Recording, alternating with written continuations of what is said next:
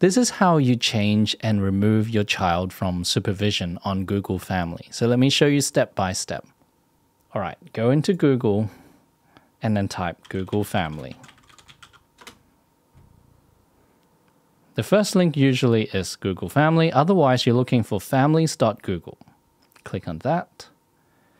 And if you haven't signed in, this is the page you get. Select Get Started. If you've already signed in, it will pop you up to this page. If you haven't signed in, it will ask you to sign in. You go to the supervised member, and then this is what you see. Over here, you can see remove member, which is grayed out. This is not the page where you get to remove the member. You gotta have to click a few more clicks. Have a look at this.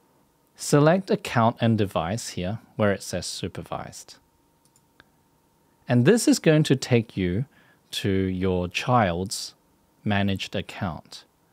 You want to select controls. Go ahead and select account settings.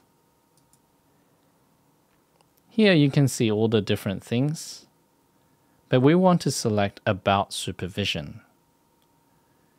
Under about supervision, you'll see an option where it says stopping supervision. This will remove supervision from your child's Google account and any devices that are being supervised. If you want to do that, tick it and select I understand, and then select Stop Supervision. Now, if your child is 13 or below, and in some countries 14, 15, 16, 17, even 18, it depends on the country, you may not get this option. If you have a child that is actually older than the allocated supervision age, when you click on it, it will say remove member.